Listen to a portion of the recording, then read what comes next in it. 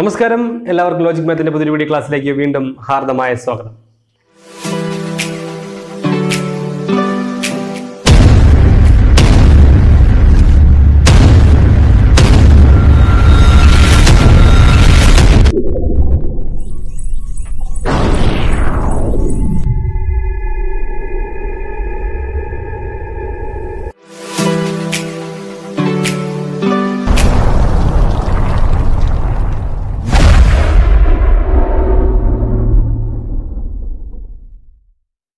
വൃത്തസ്തംഭം സമയനസ്തംഭം ചതുരസ്തംഭം cube ഇവയുമായൊക്കെ ബന്ധപ്പെട്ട ഒത്തിരി ചോദ്യങ്ങൾ നമ്മൾ കോമ്പറ്റേറ്റീവ് എക്സാമുകളിൽ ഇപ്പോൾ കണ്ടുവരുന്നുണ്ട്. പ്രധാനമായിട്ടും ഇതിൽ നമ്മൾ കാണുന്നത് ഇവയുടെയൊക്കെ ഉപരിതല പരപ്പളവ് പാർശ്വതല പരപ്പളവ് അതായത് lateral surface area total surface area ഇതിന്റെയൊക്കെ ഓളിയം ഇത്തരത്തിലുള്ള ചോദ്യങ്ങളാണ് നമ്മൾ സാധാരണയായിട്ട് കാണുന്നത്.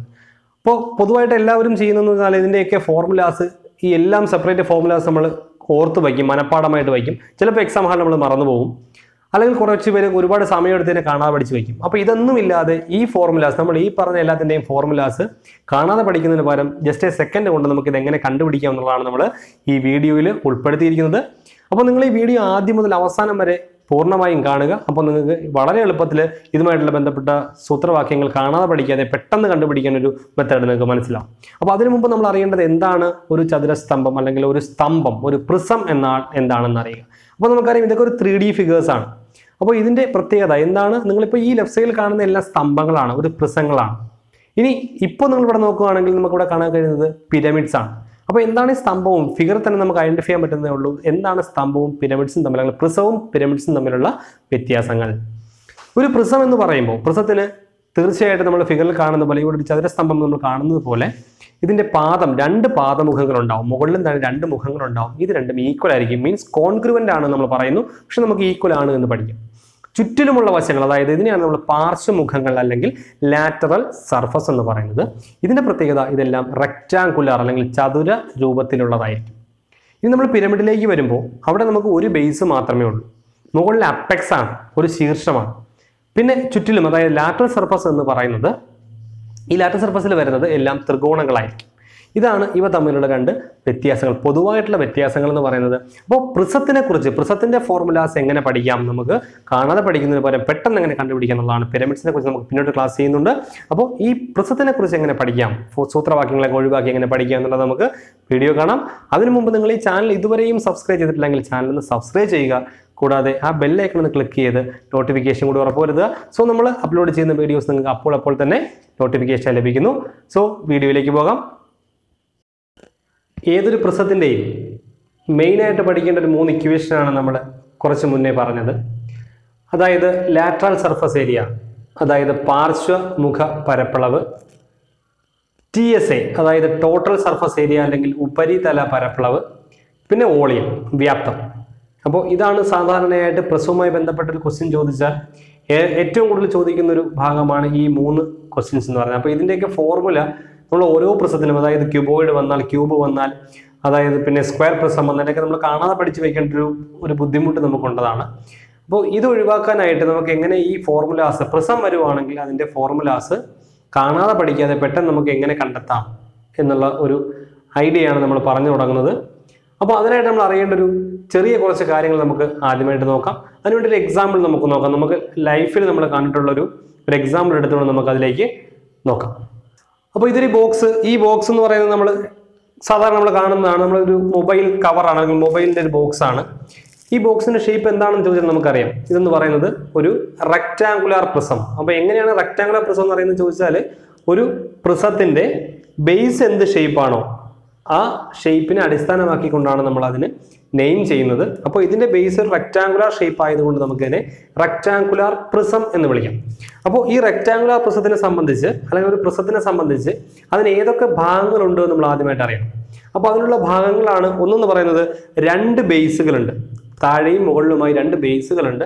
ഈ ബേസുകളുടെ പ്രത്യേകത ഇത് equal in size and equal in shape ആയിരിക്കും. രണ്ടും സെയിം സൈസും സെയിം ഷേപ്പുമാണ് അപ്പോൾ അത് നമ്മൾ സാധാരണ കോൺഗ്രുവന്റ് ഫിഗേഴ്സ് എന്ന് പറയാറുണ്ട്. അപ്പോൾ ഇതിന്റെ ബേസുകൾ എന്ന് പറയുന്നത് എപ്പോഴും ഈക്വൽ ആണെന്ന് പഠിക്കുക. കോൺഗ്രുവന്റ് എന്ന് പറയുന്ന വാക്ക് പഠിക്കേണ്ട. ഈക്വൽ ആണെന്ന് പഠിക്കുക. ഇനി ഇതിന് ചുറ്റിലും ഒരു വശമുണ്ട്. അപ്പോൾ നമുക്ക് രണ്ട് ബേസ് ഉണ്ടെന്ന് മനസ്സിലായി.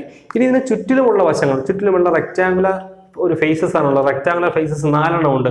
ഒന്ന് രണ്ട് മൂന്ന് നാല്. അപ്പോൾ ഈ നാല് ഫേസസിനെ ചുറ്റിലുമുള്ള ഫേസസിനെ നമ്മൾ വിളിക്കുന്ന പേരാണ് ലാറ്ററൽ സർഫസ് അല്ലെങ്കിൽ പാർശ്വമുഖങ്ങൾ അപ്പോൾ ലാറ്ററൽ സർഫസ് അപ്പോൾ ഇനി പഠിക്കാൻ പോകുന്നത് ഈ ലാറ്ററൽ സർഫസിന്റെ അതായത് ഈ നാല് പോർഷന്റെയും ഏരിയയെ വിളിക്കുന്ന അല്ലെങ്കിൽ ടോട്ടൽ ഏരിയ വിളിക്കുന്നതാണ് ലാറ്ററൽ സർഫസ് ഏരിയ അപ്പോൾ ലാറ്ററൽ സർഫസിന്റെ ഏരിയ വിളിക്കുന്ന പേരാണ് ലാറ്ററൽ സർഫസ് ഏരിയ എന്ന് പറയുന്നത്.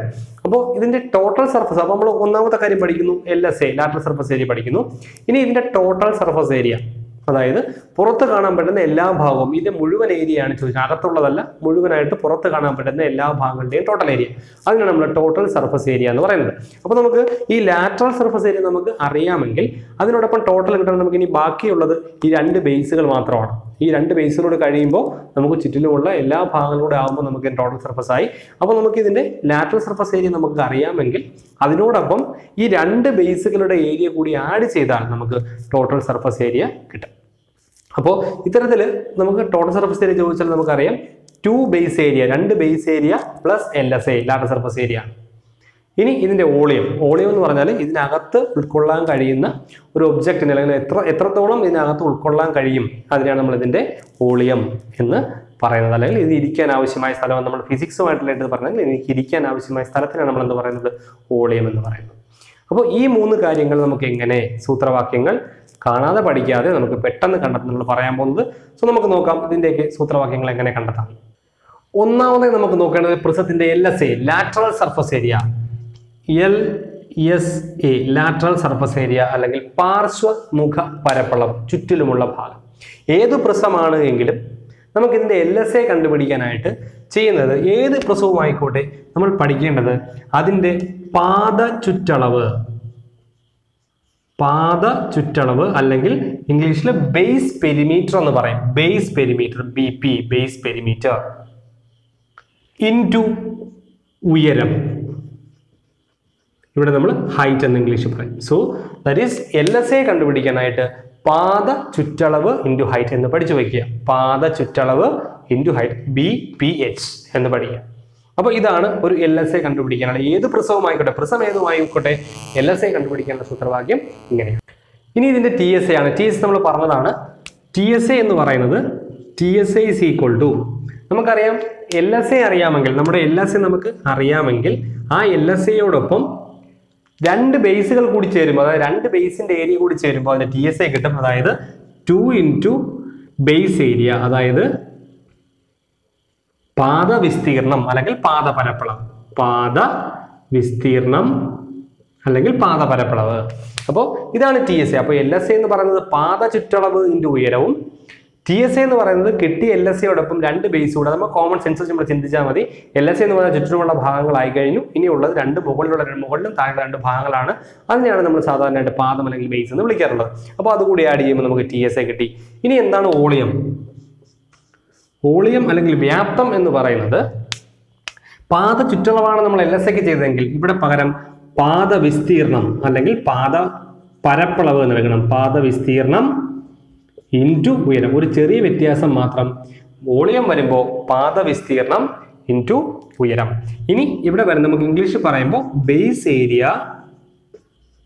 ഇന്റു ഹൈറ്റ് ഇതാണ് ഫോർമുല അപ്പോൾ ഈ ഫോർമുല ഇത് കാണാതെ പഠിക്കുക ഈ മൂന്ന് ഫോർമുലകൾ വെറുതെ കാണാതെ പഠിച്ചു വെച്ച് കഴിഞ്ഞാൽ ഏത് പ്രശ്നം വന്നാലും നമുക്ക് പെട്ടെന്ന് ഇതിന്റെ ആൻസർ കണ്ടുപിടിക്കാം. നമുക്ക് ഒന്ന് രണ്ട് പ്രശ്നത്തിന്റെ ഏരിയ കണ്ടുപിടിച്ചതിന് ശേഷം ഇത് ശരിയാണോ നമുക്കൊന്ന് ചെക്ക് ചെയ്യാം.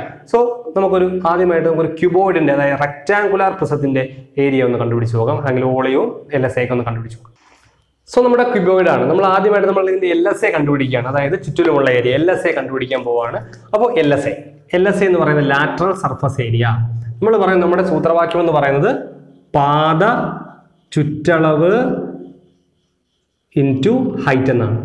ദറ്റ് ഈസ് നമുക്ക് നോക്കാം പാത ചുറ്റളവ്. ഇതിന്റെ പാദം എന്ന് പറയുന്നത് റെക്ടാങ്കുലാർ പ്രിസം അല്ലെങ്കിൽ ക്യൂബോയിഡിന്റെ പാദം എന്ന് പറയുന്നത് റെക്ടാങ്കുലാർ ഷേപ്പാണ് റെക്ടാങ്കിളിന്റെ ചുറ്റളവ്. അപ്പൊ താഴെയുള്ള റെക്ടാങ്കിൾ ആയതുകൊണ്ട് തന്നെ ചുറ്റളവ് എന്ന് പറയുന്നത് നമുക്കറിയാം two into L plus B into H height that is arrange ചെയ്ത് വരുമ്പോൾ two H into L plus B ഇതായിരിക്കും അതിന്റെ ഫോർമുല അപ്പോൾ കാണാൻ പഠിക്കാതെ പെട്ടെന്ന് നമുക്ക് ഒരു നമുക്കൊരു ഇമാജിൻ ചെയ്യാനുള്ള കപ്പാസിറ്റി ഉണ്ടെങ്കിൽ നമുക്ക് പെട്ടെന്ന് തന്നെ two into L plus B into H എന്ന് പറയുന്നത് നമുക്ക് പെട്ടെന്ന് കണ്ടുപിടിക്കാൻ പറ്റും. അപ്പോൾ ഇതാണ് എൽ എസ് എ ഇതിന്റെ ടി എസ് എ ആണെങ്കിലോ ടി എസ് എ വേണമെങ്കിൽ നമ്മൾ ചെയ്യേണ്ടത് നമുക്കിവിടെ ബേസ് ഏരിയ കൂടി എൽ എച്ച് നമുക്ക് എൽ എസ് എ അറിയാം. അപ്പോൾ എൽ എസ് എന്ന് പറയുന്നത് two H into L plus B അതിനോടൊപ്പം ഇതിന്റെ ബേസ് ഏരിയ കൂടി. ബേസ് രണ്ട് ബേസ് ഏരിയ അപ്പോൾ ബേസ് ഏരിയ എന്ന് പറയുന്നത് ലെങ്തിന്റെ ബ്രെഡ്ത്ത് ആണ് അങ്ങനെയുള്ള രണ്ടെണ്ണം ഉണ്ട്. So two into L B two L B കൂടി ആഡ് ചെയ്താൽ മതി. ഫോർമുല നിങ്ങൾ പഠിച്ചത് ചിലപ്പോൾ എങ്ങനെയായിരിക്കും? Two into L B plus L H plus B H എന്നായിരിക്കും. അത് തന്നെയാണ്. ഇത് എക്സ്പാൻഡ് ചെയ്യുമ്പോൾ നമുക്ക് ഇതുപോലെ തന്നെ കിട്ടും. സോ അതൊന്നും ബുദ്ധിമുട്ട് കരുതേണ്ട കാര്യമില്ല. പെട്ടെന്ന് നമുക്ക് ഇത് സബ്സ്റ്റിറ്റ്യൂട്ട് ചെയ്ത ആൻസർ കിട്ടും. ഇനി ഇതിന്റെ ഓളിയം നോക്കാം നമുക്ക്. ഓളിയം എന്ന് പറയുന്നത്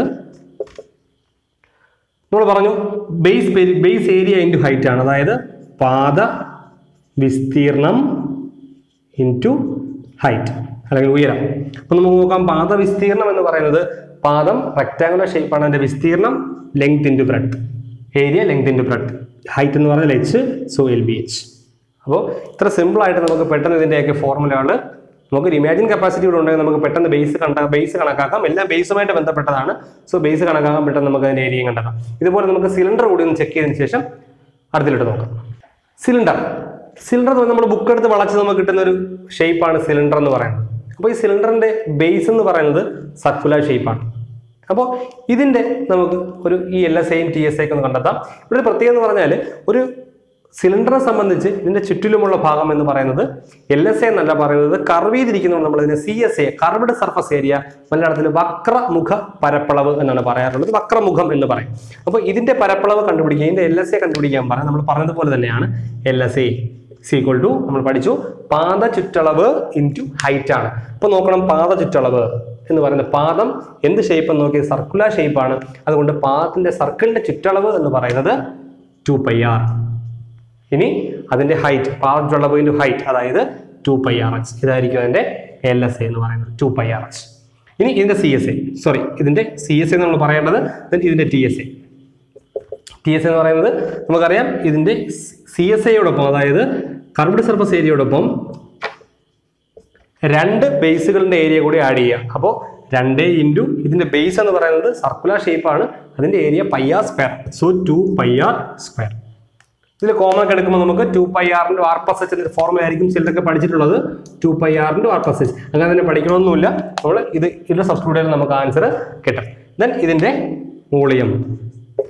വോളിയം എന്ന് പറയുന്നത് പാത പരപ്പളവ് അല്ലെങ്കിൽ പാത വിസ്തീർണം അല്ലെങ്കിൽ ബേസ് ഏരിയ ഇന്റു ഹൈറ്റ് ഇവിടുത്തെ ബേസ് എന്ന് പറയുന്നത് സർക്കുലർ ഷേപ്പാണ് അതിന്റെ ഏരിയ പയ്യ സ്ക്വയർ ഹൈറ്റ് ഇന്റു ഹൈറ്റ് എന്ന് പറയുമ്പോൾ H that is pi square H അപ്പോൾ ഇത്തരത്തിൽ സിലിണ്ടർ അല്ലെങ്കിൽ ഏത് തരത്തിലുള്ള പ്രിസവും ആയിക്കോട്ടെ നമുക്ക് ഏരിയ അല്ലെങ്കിൽ അതിന്റെ എൽ എസ് ഐയും സി എസ് ഐയും ടി എസ് ഐയും ഓളയും ഒക്കെ വളരെ എളുപ്പത്തിൽ കണ്ടുപിടിക്കാം. ഫോർമുല കാണാതെ പഠിച്ചൊരു ബുദ്ധിമുട്ട് ഇവിടെ വരാതെ തന്നെ നമുക്കിത് ചെയ്യാം.